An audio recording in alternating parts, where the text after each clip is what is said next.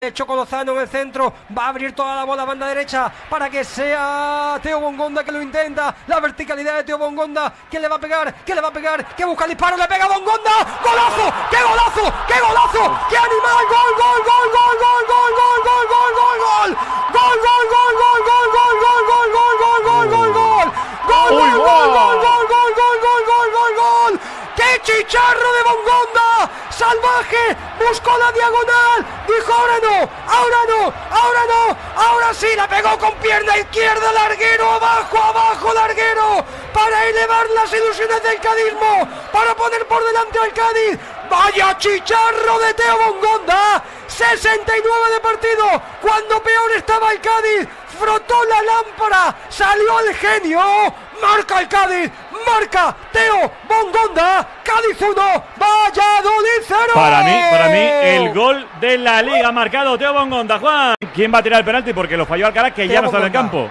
Le va a pegar Teo Bongonda, el autor del primer gol, la magia de Bongonda. Patea eh, hacia atrás, de momento coge muy poquita carrerilla, pierna derecha perpendicular a la bola. A ver qué es lo que hace Bongonda, 75 de partido. Lo cuenta la cerca Rusel Deportivo. 1-0 va ganando el Cádiz, es un duelo clave por la salvación. Coge muy poquita carrerilla, se perfila, le va a pegar Bongonda para adentro. Gol, gol, gol, gol, gol.